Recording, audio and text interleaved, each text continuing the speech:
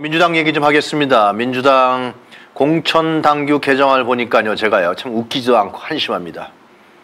이계호라는 국회의원이 그 위원회 만들어서 이걸 밝혔는데 제대로 밝히지도 않고 뭐 공청회라든가 공론도 공론도 형성하고 있지 않습니다. 어, 당원들 얘기를 들어보니까 그냥 투표하라고 오늘과 내일입니다. 라고 문자가 왔다 그러는데 무슨 내용인지 잘 모르는 당원들이 굉장히 많은 것 같습니다. 핵심적인 문제 몇 가지만 짚어드리겠습니다. 경선 전에 여론조사 20% 차이면 단수 공천이 가능하다. 철저하게 현역들을 위한 공천 누린 것이죠. 음, 어떻게 신인들이 정치 신인들이 그 지역에 가서 그 이름을 알리는데 그 쉽겠습니까? 아무리 언론에 나와도 인지도라는 것은 쉽게 올라가지 않습니다. 그러나 그 지역의 국회의원은 인지도가 상당히 높죠. 철저하게 현역들을 위한 공천 룰입니다. 이게 여태까지 계속 있었던 겁니다. 그러면서 현역들이 계속해서 공천 받아서 반사이익 받아갖고 또 국회의원 해먹던 일인데요. 이거 안 고치겠답니다.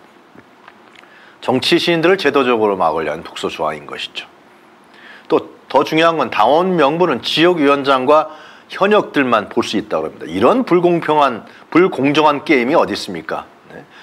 아니, 게임 룰이 공정해야 될 거 아닙니까? 왜 당원 명부는 자기네들만 봅니까? 당원들 경선에 등록한 후보자들은 다 볼 수 있게 해서 그 당원들에게 선전하고 홍보하고 이름을 알리고 어떤 사람인지 얘기해야 당원들이 판단할 거 아닙니까? 네, 참 불공정한 게임을 스스로 만들어서 진행하려고 합니다. 그리고 동일 선거구 3선 이상 출마 금지 조항도 만든다 그러다가 이제 없습니다. 조항도 없습니다. 민주당 지도부들 뭐 한 겁니까 도대체. 우리 유용한 뉴스 코멘터리에 몇몇 의원들 나와서 이거 시행하겠다 그랬습니다. 다 거짓말입니다.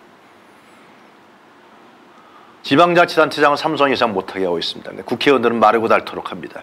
국회의원이 직업이 돼 있습니다. 물론 잘하는 사람을 4선, 5선 할 수도 있습니다. 그러나 그 특권에 취해서 기득권에 취해 있는 국헌들은 갈아야죠. 자신들이 국민의 대표자라고 국회에서 떠들고 있지 않습니까?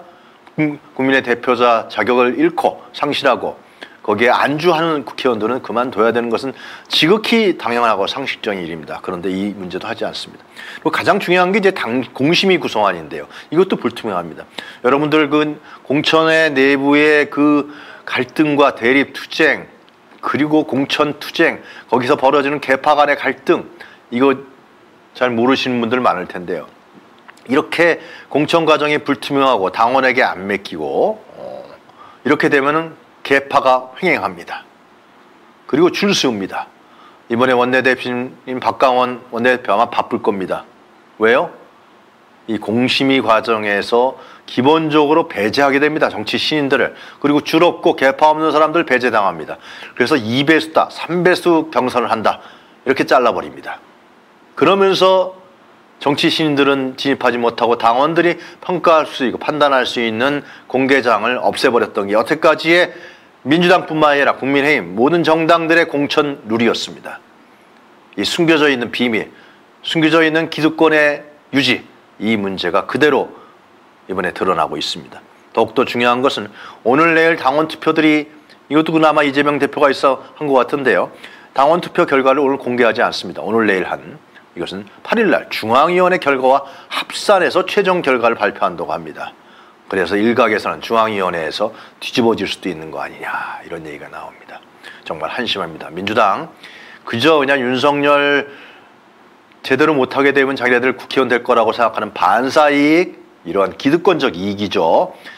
절대로 국민들을 그렇게 하지 않을 겁니다. 공천 혁신해야 됩니다. 그동안에 못한 사람들 제대로 싸우지 않고 그리고 국민의 대표자 노릇을 하지 못한 국회의원들은 이번에 떨어뜨려야 됩니다. 공천에서요. 그런데 이번에 당천, 아, 공천 아, 당규 개정안 정말 한심합니다.